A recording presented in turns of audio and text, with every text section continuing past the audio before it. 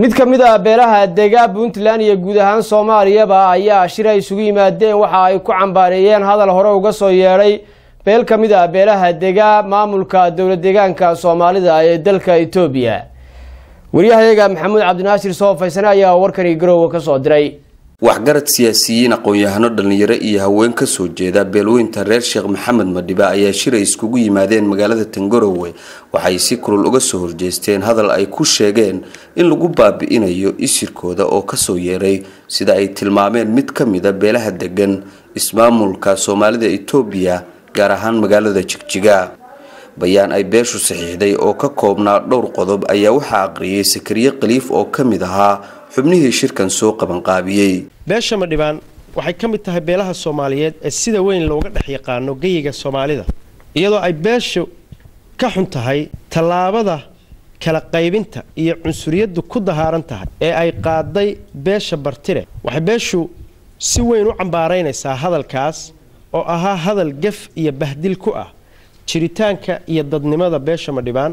Waxay beeshu ku faanaysaa inay tahay beel si weyn uga dhex muuqata soomaalida oo dhan kuna abtirsata.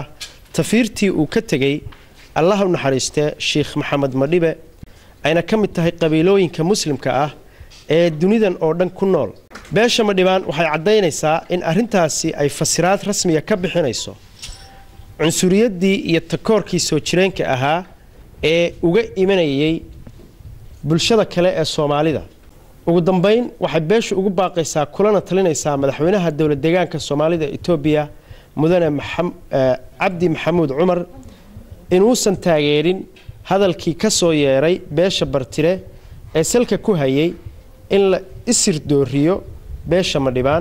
Barigi sayid maxamed boqortooyadii cismaan bartiro madhibaan ku burhaan bay lahaan jireen rasaas biisa ingiriisku dhulka waa ka baafin jiray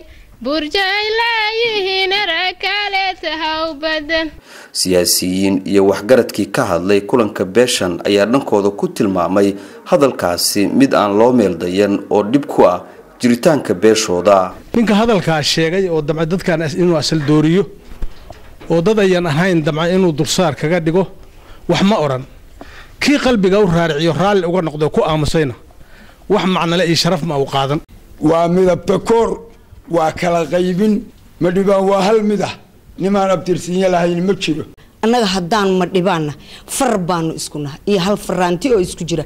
Waa fartaa iyo faraantiga miyaa la kala saari karaa. Waa maya. Beesha madhibaan qaybinteeda. Waxaanu geynana ma aha